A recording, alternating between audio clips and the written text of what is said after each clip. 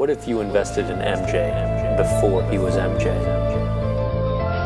What if you owned Carrie before she was an idol? Football trades here. Racing trades here. Music trades here. Movies trade here. Everything you talk about, everything you think about, all